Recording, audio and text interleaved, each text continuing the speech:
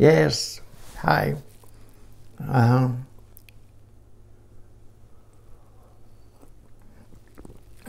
Well, Ginger, I never did understand why you moved to Vegas. Me, I'm back in Texas. Yeah, I'm having a cookie. Uh huh. Yeah. I still love my cookies.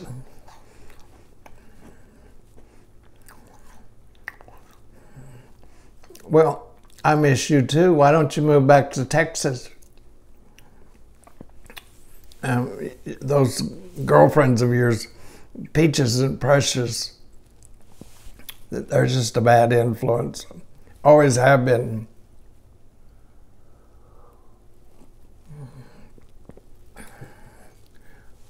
Well, we had a lot of fun.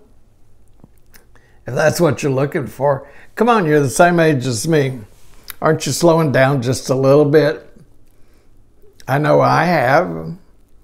But there are still things we can do. You remember we used to like to watch movies together and we'd cuddle on the sofa, eat popcorn. Oh, you can't eat popcorn anymore. It makes your teeth fall out. well, okay. Yeah. Well, no, I don't have that problem. Not yet, anyway. Yeah. But we used to have a laugh and a giggle, you know. Well, okay, Ginger, I miss you too. Uh huh. Well, think about it.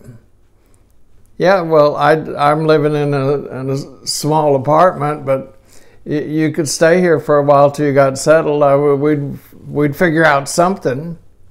Yeah, it'd be like the old times. Uh, okay. Okay. Okay. Okay, bye.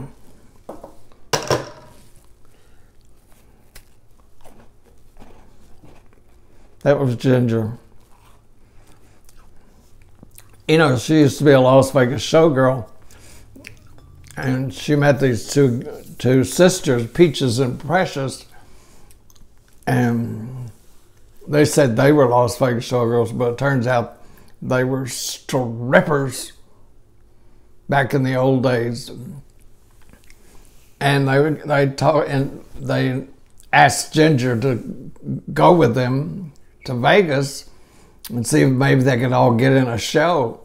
And I reminded uh, Ginger that she wasn't that age anymore. She was our age. And they just don't really hire people that age to be showgirls. And I don't think they do those kind of shows anymore anyway. But she didn't listen to me. She, she went to Vegas. And they got into all kinds of trouble. They were partying like it was 1955. and I think they ended up in the pokey a couple of times. they used to hang out at the wedding chapel because that's where they had this Elvis impersonator that would marry people, and they were friends with him, and I think he was a bad influence. So, but Ginger slowed down a lot, just like, you know, we all do at a certain age.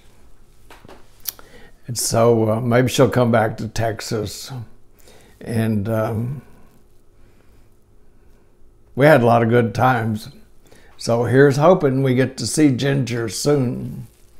Well, I'm going to get back to finish my coffee and my cookie, and I'll talk to you all again real soon.